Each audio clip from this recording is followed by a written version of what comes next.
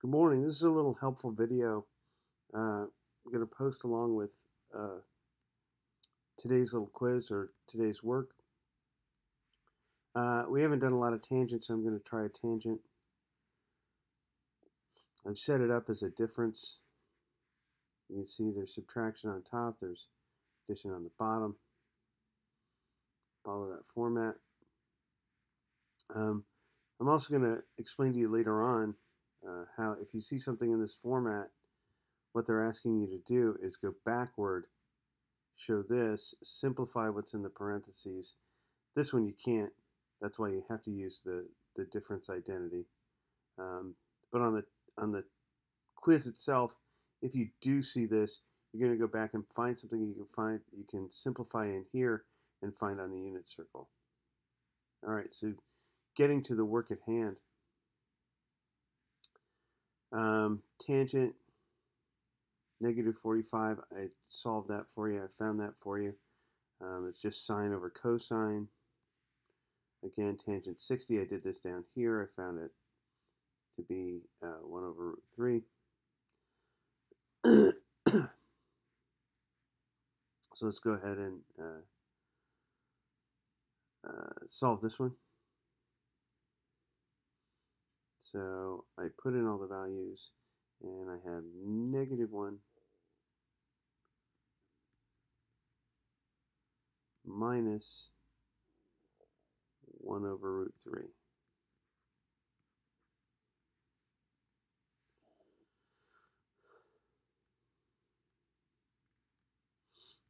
And that's going to be over.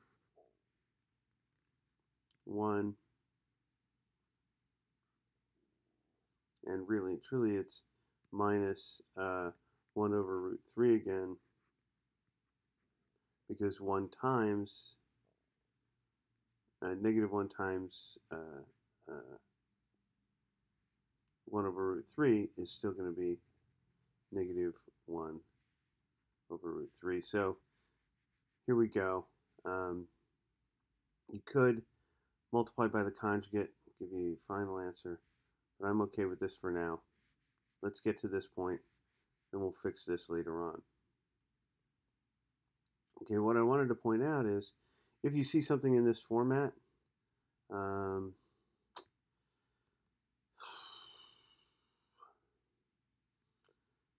just take this as, um,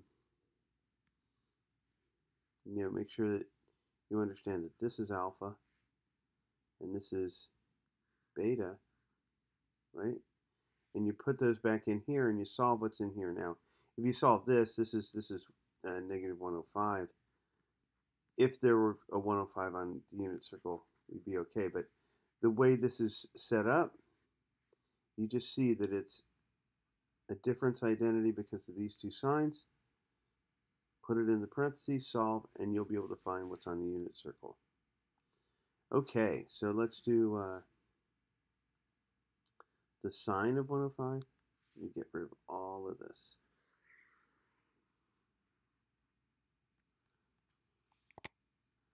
And I'm going to leave that little piece there just because anyone who might be a little OCD will get a little upset about that. Just kidding.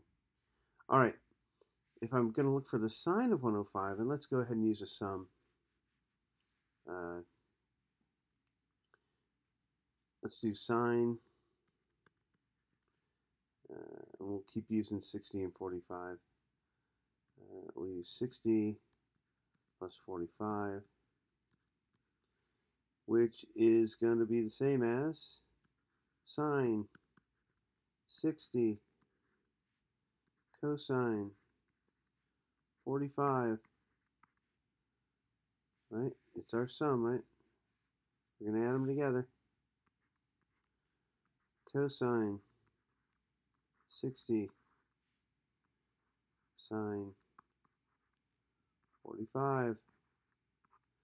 We should know all these. Um, sine of 60 is root 3 over 2 times root 2 over 2. We're going to add to it. Cosine of 60 is a half. And times root 2 over 2. And this is one of those uh, that you you've gotten used to. This is root 6 plus root 2 over 4. That's it.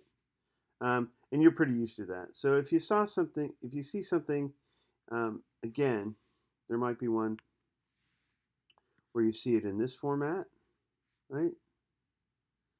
Um, you'll just assume, you'll just have to assume that this is alpha, this is beta, put it back into this format here, solve what's in the parentheses, and you can usually find something on the unit circle. They will not give you a problem where it's it's a, a, a value that can't be found on the unit circle. So should be good to go. Good luck, guys.